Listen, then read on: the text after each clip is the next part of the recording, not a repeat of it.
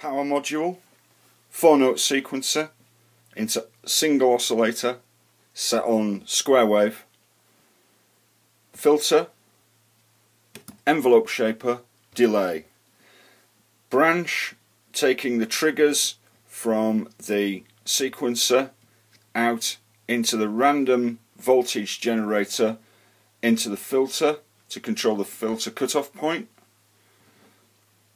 Another out taken to through the dimmer module to tame the voltage going out through the CV chip to supply a control trigger for the PO12 Teenage Engineering drum machine.